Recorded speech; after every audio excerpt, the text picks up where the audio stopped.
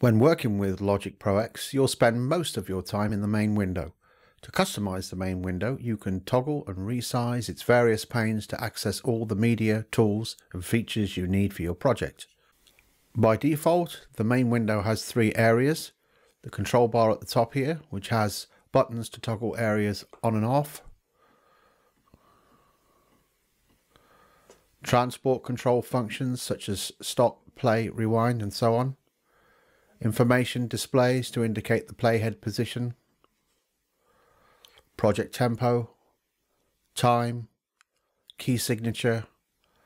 Mode buttons such as counting and metronome. And over here, our browsers. The inspector provides access to a contextual set of parameters.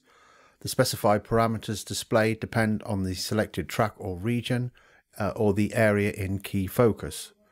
And the tracks area is where you build your song by arranging regions on tracks located below a ruler.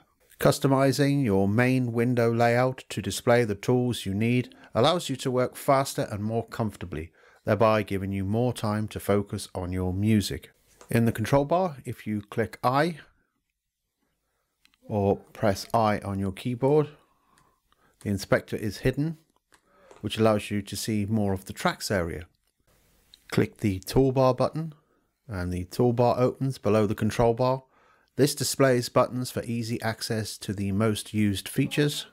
To customize the control bar, control click it and from the shortcut menu choose customize control bar and display and then you can customize it in that window and the same for the toolbar as well. Click the Quick Help button and tags will appear as you hover your mouse pointer over elements of Logic's interface. Of course, there's always a help manual included with most software. Click the X key on your keyboard to display the mixer and click again to close. In the control bar, click the Apple Loops button or press O and the Apple Loops menu is displayed on the right.